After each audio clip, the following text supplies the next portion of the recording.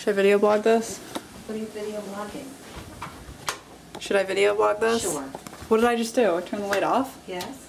Oh, I haven't lived here like forever. Yay! Focus on the positive. I'm confused why they look like donuts. Target sucks money out of your pockets. I swear to God, there's something, there's a money vortex in there. I do not understand the neon trend thing. Why is why is that a good look? A lot of fashion trends, I get them, I think they're cool, but there's two that have come recently that I do not get, and that's the neon and that tribal print that was everywhere. It looked the same in every single store. Weird. The squirrel and the nut. I can have the squirrel chase his nut. If I can't find the movie anywhere, I'm gonna read the book. This would happen to me. The most ginormous truck in the parking lot decides to park next to me. And now I can't see a thing. Now I have to make it all the way back home. yes! Okay, I made it both ways. Everyone's alive, no one was injured.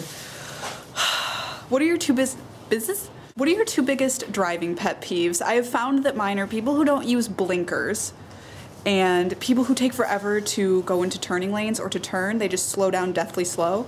And when you combine those two peeves together, it really makes you want to say mean things. Also, we have this we have this side note. We have this um, side note. We have this semi-local radio station. It's not really local. It's from Vermont. They're an alternative radio station, and they were my favorite until like three weeks ago, and something happened, and I'm not the only one who's thinking this. They've gone downhill. Seriously? Just because you play one kook song every three hours doesn't make you alternative. I don't like radio stations only because I like what I like, and a lot of my stuff isn't played on the radio. And also, I don't want to hear the same song no matter who it is over and over and over and over and over again. Now, this radio station has this thing where they're playing Coldplay and Eddie Vedder, and I love Coldplay and Eddie Vedder. Not 18 million times, please stop. Can you tell that it's like sunsetty time right now? The sun is low in the sky. Yeah. It's three o'clock. I'm ready for spring. This is ridiculous. I keep looking at myself. I need to like, this is ridiculous. Like really? At least it's not snowing. I'll take it. I know it's supposed to be snowing, but yuck. Yuck. Is it strange that I'm a vegetarian who's trying to become vegan, yet I have a frozen turkey bone sitting out here waiting to be used as an art project? Sorry. That art show that I entered, I guess you don't hear back till April. What a bummer. I wish my elbow bent in every single direction. Mr. Bean likes to lick your peanut M&Ms. I was originally going to the movie theater to watch the Whale movie because I'm in love with John Krasinski and Drew Barrymore and Ted Danson. Have you ever seen Amateurs? Oh. Uh, but I didn't end up going and I was going to pick up a job application and I completely forgot because I didn't see the movie because it's two hours long and that's a long time to watch whales. Vlogging. Should I No, I don't want. No, I don't want to get. Huh? I don't want to get in your vlog. You don't want to be on the internet? No. You don't? Why not? Should I vlog this? Sure. Should I vlog National Geographic?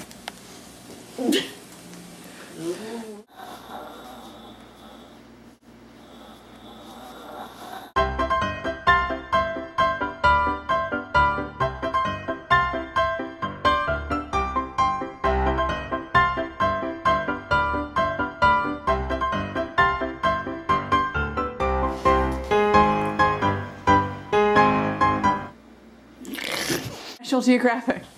Ah! Oh! Harry's wish. Whoa! The water's boiling. I make videos on the internet. Do you like it when I do that? I do. Do you do you Oh. tell them that you like it? I do. I like it. She likes I like it. she likes it when I do it. But not with that face because I don't it. like that. I have pulled a muscle in my neck.